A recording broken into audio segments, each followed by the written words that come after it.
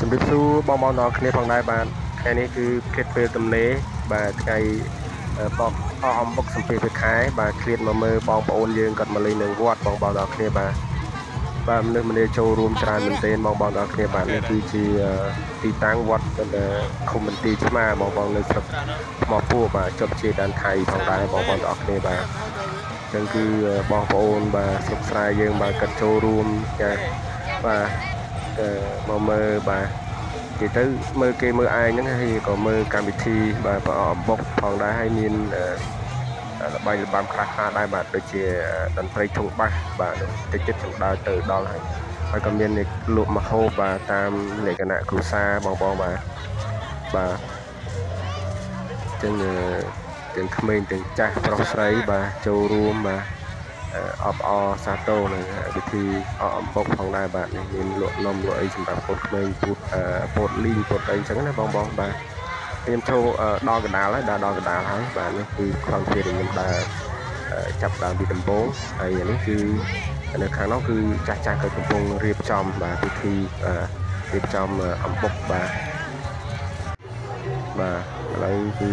ខ្ញុំដើរមករៀងចិត្តបាទនេះបាទចាស់ចាស់ក៏ចូលរួមច្រើនបាទខ្លះ គាត់រៀបចំបាទអំបុកបាទមានចេកមានដូងបងបងបាទគង់តែស្រូនញាប់ដៃញាប់ជើងបាទដើម្បីលាយអំបុកជាមួយនឹងចេកទុំបាទទឹកដូងខ្ចីផងដែរបងបងបាទអញ្ចឹងគឺអឺដើម្បីរៀបចំពិធីបង្អកអំបុកបាទហើយខាងនោះគឺធុងបាសបោះត្រាបាទមានភ្លើងស្អាតតិចទៀតខ្ញុំទៅមើលបាទទៅមើលកន្លែងធុងបាសបោះត្រាបងបងបាទ ចឹងយើងមកមើលយាយយាយតាតាដែលគាត់ត្រៀមបាទរៀបចំបាទត្រៀមរៀបចំធ្វើពិធីអកអំបុកបាទ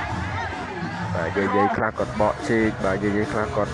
ច្បាច់បាទនោះក៏យកថងដៃស្រោបដៃបានបាទគាត់ច្បាច់ជែកបាទយ៉ាងសស្រាក់សស្រាមបាទ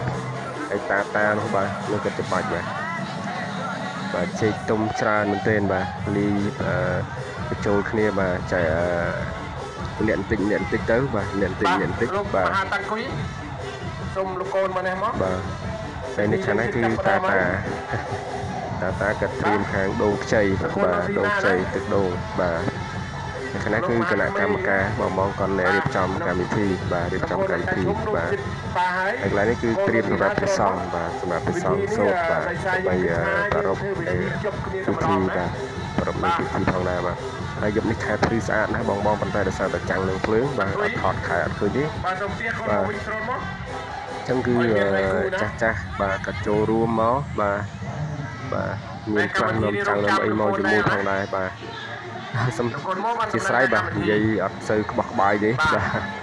វាអត់សូវក្បោះក្បាយទេឥឡូវបាទយើងទៅមើលកន្លែងធូបបាសបោះត្រាវិញបាទដើរទៅមើលធូបបាសបោះត្រាបាទនេះអូសំឡេងលឺខ្លាំងណាស់បងបងបាទនិយាយគ្នាស្រាប់អត់ចង់បានទេបាទលឺបុកខ្លាំងមែនទេបាទនេះគឺបងប្អូនគាត់មកគាត់អឺ ទិញសបុតបាទហើយគេបោះត្រានឹងដៃបាទធូបបាសបោះត្រានេះមានន័យថាយើងទិញសបុតតែម្ដងទេតែគេបោះត្រានឹងដៃយើងអាចរួមបាទមកមកមកក្បាល